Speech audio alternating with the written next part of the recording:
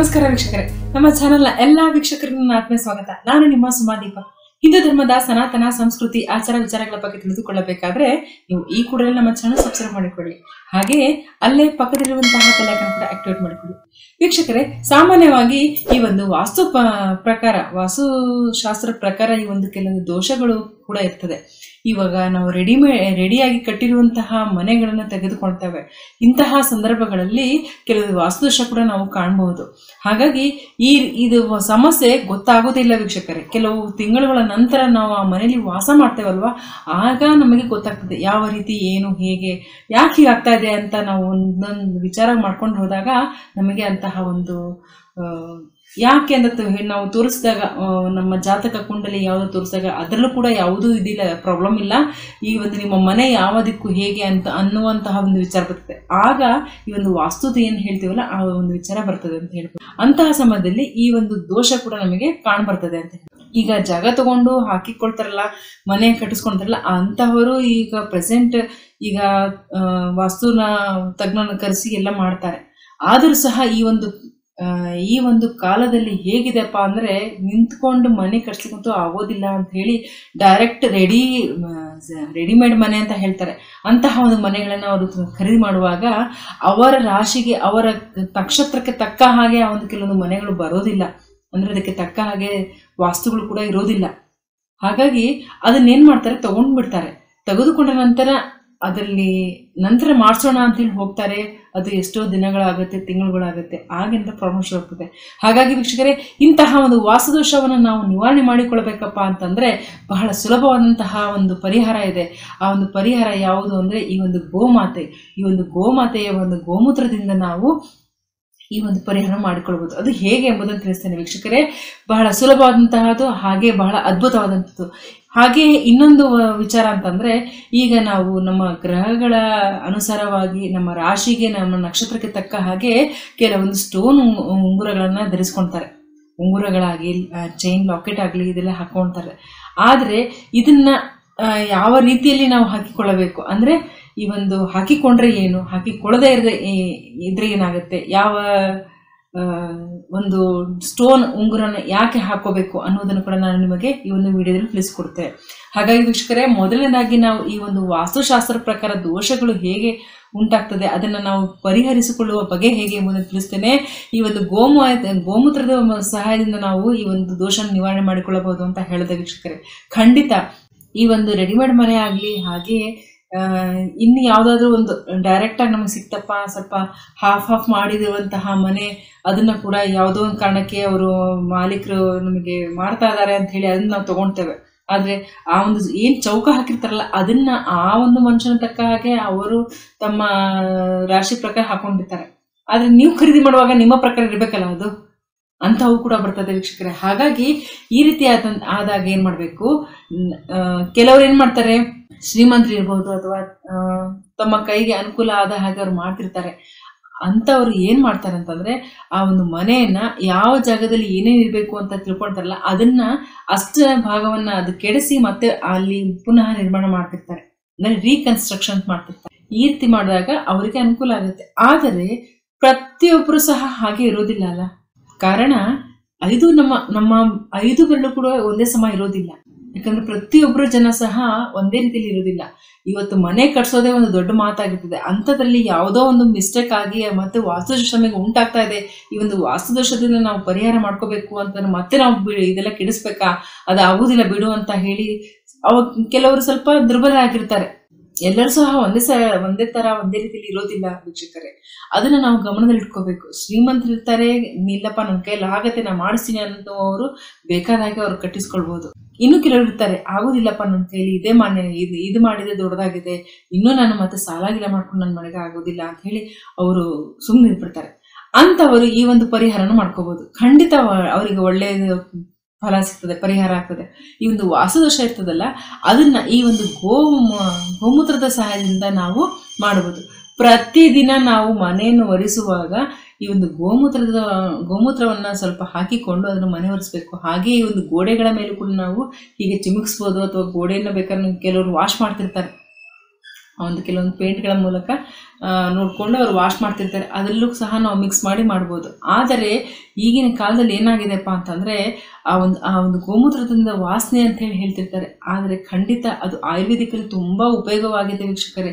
ಅದರಲ್ಲಿ ಎಲ್ಲ ರೀತಿಯಾದಂಥದ್ದು ಒಂದು ಮಿಕ್ಸ್ ಮಾಡಿರ್ತಾರೆ. ಹಾಗಾಗಿ ಆ ಒಂದು ಗೋಮೂತ್ರದ ನಿಮಗೆ ಅಷ್ಟು ವಾಸನೆ ಬರೋದಿಲ್ಲ. ಆದರೆ ಡೈರೆಕ್ಟಾಗಿ ನೀವು ಗೋಮೂತ್ರ ಹಾಕ್ತಿರಲ್ಲ, ಆವಾಗ ವಾಸನೆ ಅಂತ ಹೇಳ್ತಾರೆ. ಈ ವಾಸನೆಯಿಂದ ಏನು ಮಾಡ್ತಾರೆ? ಕೆಲವು ಜನ ಬೇಡ, ಹಾಕೋದು ಬೇಡ ಬೇಡ ಅಂತ ಹೇಳಿ ಹಿಂಸಿರ್ತಾರೆ ಆದರೆ ಇದರ ಒಂದು ಒಳ್ಳೆ ಪರಿಣಾಮ ಫಲಕಾರಿ ಎಷ್ಟು ಇದೆ ಅಂತಂದರೆ ಅದು ಗೊತ್ತಾಗೋದಿಲ್ಲ ಅವರಿಗೆ. ಆದರೆ ಇಂತಹ ಎಂತಹದೇ ಒಂದು ವಾಸುದೋಷ ಇದ್ರೂ ಸಹ ಈ ಒಂದು ಗೋಮೂತ್ರದ ಸಹಾಯದಿಂದ ನಾವು ನಿವಾರಣೆ ಮಾಡಿಕೊಳ್ಳಬಹುದು. ಖಂಡಿತ ವೀಕ್ಷಕರ ಇದರಿಂದ. ಹಾಗೆಯೇ ಈ ಒಂದು ಗೋವು ಗೋಮಾತೆಗಳಿಗೆ ನಾವು, ಗೋವುಗಳಿಗೆ ಇದು ನಮ್ಮ ಕೈಯಾರೆ ಕೆಲವೊಂದು ತಿನಿಸುಗಳನ್ನು ತಿನ್ನಿಸುವುದರಿಂದ ಅದರಿಂದನೂ ಸಹ ನಾವು ಈ ಒಂದು ದೋಷವನ್ನು ನಾವು ನಿವಾರಣೆ ಮಾಡ್ಕೋಬೋದು. ಮೊದಲೆಲ್ಲ ಹಳ್ಳಿಗಾಡಲ್ಲೆಲ್ಲ ತುಂಬ ಅಂದ್ರೆ ತುಂಬ ಕಮ, ಈ ಗೋವುಗಳನ್ನೆಲ್ಲ ಕೊಟ್ಟಿಗೆ ಅಂತೇಳಿ ಮಾಡ್ತಾ ಇದ್ರು ಹಾಗೇನೆ ಈ ಒಂದು ಪಟ್ಟಣದಲ್ಲಿಯೂ ಸಹ ಕೆಲವೊಂದು ಮನೆಗಳಲ್ಲಿ ಒಂದೊಂದು ಒಂದು ಏರಿಯಾನೋ, ಒಂದು ಯಾವುದೋ ಒಂದು ನಾಲ್ಕು ಮನೆ ಬಿಟ್ಟು ಒಟ್ಟು ಹಿಂಗೆ ಎಲ್ಲ ಕಟ್ತಾ ಇದ್ರು ಗೋ ಗೋವುಗಳು ಕಟ್ತಿರ್ತಿದ್ರು ಆದ್ರೆ ಈಗ ಏನಾಗಿದೆಪ್ಪ ಅಂದ್ರೆ ಬಹಳ ಕಡಿಮೆ ಆಗ್ಬಿಟ್ಟಿದೆ ವೀಕ್ಷಕರೇ. ಗೋವುಗಳೇ ಕಾಣ್ತಾ ಇಲ್ಲ, ಆ ರೀತಿ ಆಗ್ತಾ ಇದೆ ಪರಿಸ್ಥಿತಿ. ಅದರಲ್ಲೂ ಸಹ ಈ ಒಂದು ಗೋವುಗಳು ಕಟ್ಟಿದ ದಾನ್ಯದಲ್ಲ ಅದಂತೂ ಕಾಣೋದು ಬಹಳ ಅಪರೂಪ ಈ ಒಂದು ಪಟ್ಟಣದಲ್ಲಿ. ಹಾಗಾಗಿ ಈ ಒಂದು ಗೋಶಾಲೆಗಳಿಗೆ ಗೋವಿಗೆ ಶಾಲೆ ಅಂತಾನೆ ಒಂದು ಅದಕ್ಕೆ ಒಂದು ಇದು ಮಾಡ್ತಿರ್ತಾರೆ.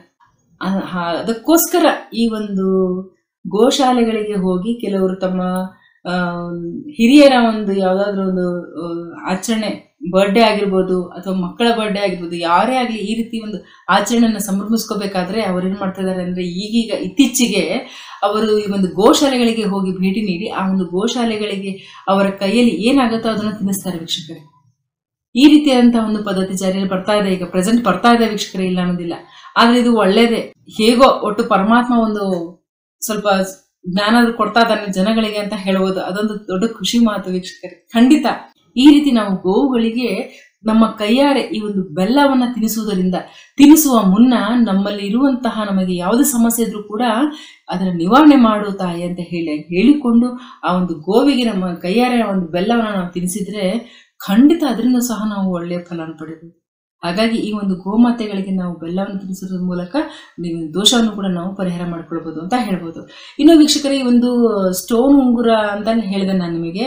ಕೆಲವರು ಏನು ಮಾಡ್ತಾರೆ, ತಮ್ಮ ರಾಶಿಗೆ ಜನ್ಮ ನಕ್ಷತ್ರಕ್ಕೆ ಅನುಗುಣವಾಗಿ ಈ ಒಂದು ಪುಷ್ಯರಾಗ, ಹರಳು ಡೈಮಂಡ್ ಈ ರೀತಿ ಉಂಗುರಗಳನ್ನ ಹಾಕಿಸ್ ಹಾಕಿಸ್ಕೊಳ್ತಾರೆ ಕೆಲವೊಂದು ನಕ್ಷತ್ರ ಪ್ರಕಾರ ಹಸ್ತ, ಅಶ್ವಿನಿ ಈ ರೀತಿಯಾಗಿ ಹೇಳ್ಕೊಂಡು ಮಾಡ್ತಿರ್ತಾರೆ.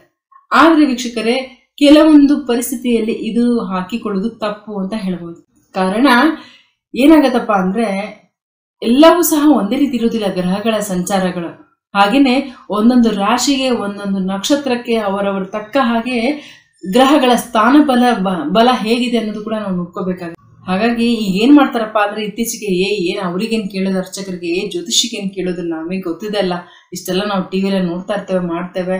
ನಾವು ಇದನ್ನ ನಮ್ಮ ಈ ನಮ್ ನನ್ನ ರಾಶಿಗೆ ಇದೆಯಪ್ಪ ಅಂತ ಹೇಳಿ ಹೇಳಿ ಮಾಡ್ಕೊಂತಿರ್ತಾರೆ ಆದ್ರೆ ಅದು ಮಾಡೋದು ತಪ್ಪು ವೀಕ್ಷಕರೇ. ಯಾಕಂದ್ರೆ ಗ್ರಹಗಳ ಸಂಚಾರದಲ್ಲಿ ಅವ್ರಿಗೆ ಗೊತ್ತಾಗ್ತಿರೋದಿಲ್ಲ. ಈ ಒಂದು ಅವರ ಬಲ ಯಾವ್ದ್ರಲ್ಲಿ ಹೆಚ್ಚಿದೆಯೋ ಆ ರೀತಿಯಾಗಿರುವಂತಹ ಅದಕ್ಕೆ ತಕ್ಕ ಹಾಗೆ ನಾವು ಈ ಒಂದು ಸ್ಟೋನ್ ಅನ್ನ ಹಾಕೋಬೇಕು ಪಚ್ಚೆ ಸ್ಟೋನ್ ಈ ರೀತಿ ಎಲ್ಲ ಹೇಳ್ತಿರ್ತಾರಲ್ಲ, ಈ ರೀತಿ ಸ್ಟೋನ್ ಹಾಕೊಂಡ್ರೆ ಅದರಿಂದ ನಮಗೆ ಇನ್ನೂ ಒಳ್ಳೆ ಉಪಯೋಗ ಅಂತ ಹೇಳ್ಬೋದು. ಹಾಗಾಗಿ ನೀವು ಸ್ಟೋನ್ ಉಂಗುರನ್ನು ಧರಿಸುವುದು ಧರಿಸುವುದೇ ಖಂಡಿತವಾದರೆ, ಖಂಡಿತವಾಗಿ ನೀವು ನಿಮ್ಮ ಜಾತಕದ ಪ್ರಕಾರ, ನಿಮ್ಮ ನಕ್ಷತ್ರ ರಾಶಿಗೆ ತಕ್ಕ ಹಾಗೆ ನೀವು ಜ್ಯೋತಿಷಿಗಳಿಗೆ ಭೇಟಿ ಮಾಡಿ ಅವರಿಂದ ನಿಮ್ಮ ಒಂದು ಯಾವ ಬಲ ಚೆನ್ನಾಗಿದೆ ಅಂತ ಹೇಳ್ಕೊಂಡು ಅದಕ್ಕೆ ತಕ್ಕ ಹಾಗೆ ನೀವು ಮಾಡಿಸ್ಕೊಂಡು ಹಾಕೊಂಡ್ರೆ ಅದಕ್ಕೆ ಒಂದು ಉಪಯೋಗ, ಒಳ್ಳೆಯ ಒಂದು ಪರಿ, ಫಲ ಸಿಗುತ್ತೆ ಅಂತ ಹೇಳ್ಬೋದು. ಇನ್ನು ಕೆಲವರಿಗೆ ಯಾವುದೇ ರೀತಿಯಾದಂತಹ ಒಂದು ಅವರಿಗೆ ನಿರೀಕ್ಷಿಸಿ ಆಗ್ತಾ ಇರೋದಿಲ್ಲ ಅವ್ರಿಗೆ ಯಾವುದೂ ಹೊಂದೋದೇ ಇಲ್ಲ ಕೆಲವರಿಗೆ. ಎಲ್ಲರಿಗೂ ಸಹ ಹೊಂದಬೇಕು ಅಂತ ಇರೋದಿಲ್ಲ ಅದರಲ್ಲೂ ಸಹ ಕೆಲವೊಂದು ಜನರಿಗೆ ಯಾವುದೇ ಒಂದು ಸ್ಟೋನ್ ಕೂಡ ಒಪ್ತಾ ಇರೋದಿಲ್ಲ ಅವರಿಗೆ. ಅವರ ನಕ್ಷತ್ರಕ್ಕೆ ತಕ್ಕ ಹಾಗೆ. ಅಂಥವ್ರು ಏನು ಮಾಡಬೇಕಪ್ಪ? ಅಂತಂದಾಗ ಬಹಳ ಸುಲಭ ವೀಕ್ಷಕರೇ ಬೇಜಾರುಗಳದು ಏನೂ ಇಲ್ಲ. ಅದರಲ್ಲೂ ಸಹ ನಾವು ಒಳ್ಳೆ ಪರಿಹಾರವನ್ನು ಮಾಡ್ಕೋಬಹುದು ಈ ಒಂದು ರುದ್ರಾಕ್ಷಿನ ಧರಿಸುವುದರಿಂದ ಯಾವುದೇ ದೋಷವಿಲ್ಲ ವೀಕ್ಷಕರೇ. ಯಾರು ಬೇಕಾದ್ರೂ ಹಾಕೋಬಹುದು ರುದ್ರಾಕ್ಷಿಯನ್ನ.